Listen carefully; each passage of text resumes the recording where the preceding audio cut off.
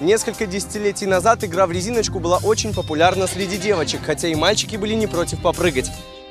Главный и единственный инвентарь, необходимый для игры – обычная бельевая резинка длиной около 2,5 метров, связанная в кольцо – для игры требуется не меньше трех человек, или двое игроков и дерево, стул, стол подходящего диаметра.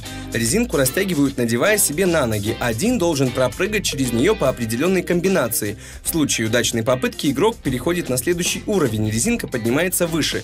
Известно 7 уровней, высшим из которых было по шею. Чтобы подпрыгнуть, игрок должен был проявить изрядную долю ловкости и сноровки. Комбинации прыжков тоже разные. Простые элементы даются легко, но над некоторыми нужно постараться. Есть. Как только прыгун ошибается, на его место встает другой участник, а допустившая ошибку девочка надевает на себя резинку. Если игроков четверо, пары меняются местами, когда оба игрока из одной пары поочередно допускают ошибки. Игра в резиночки развивает вестибулярный аппарат, координацию и внимательность. Учит тренироваться, побеждать, достойно проигрывать, прыгать выше всех и дружить с ребятами, даже если в данную минуту они соперники.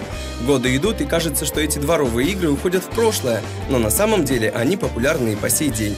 Мы во дворе играем э, в резиночку каждый день, и мне нравится очень играть в резиночку, потому что это э, я люблю заниматься спортом, и это интересно. У нас э, одна резиночка, мы сами ее придумали во дворе, она не как у других, и мы в нее играем каждый день, придумываем иногда что-то новое.